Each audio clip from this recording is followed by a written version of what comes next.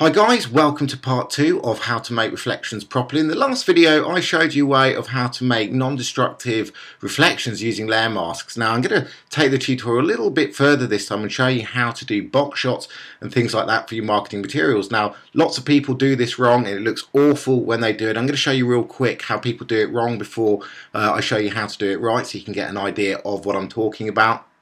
And I'm going to do uh, or just click the actual box that I want to uh, make the reflection on. Click that Alt or Control, bring it down to roughly how I want and edit it out. Now, that's where most people leave it and what they do then is they'll create uh, a quick uh, layer mask or just uh, lower the opacity and then delete it out and then leave it like that. Now, obviously, that looks pretty wrong uh, even if I lower the opacity down and play around with uh, different ways of uh, or different effects with the layer mask. So what I want to show you is how you can fix these edges and how you can actually bring it up. So I'm going to delete that.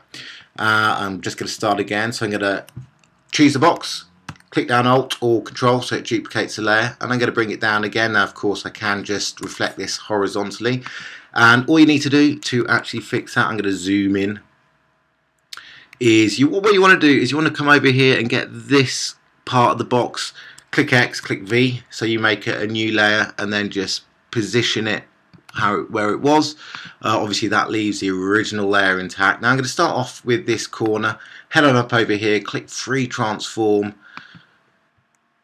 Now there are various shortcuts but for the purpose of this tutorial I'm just going to use the, the typical commands.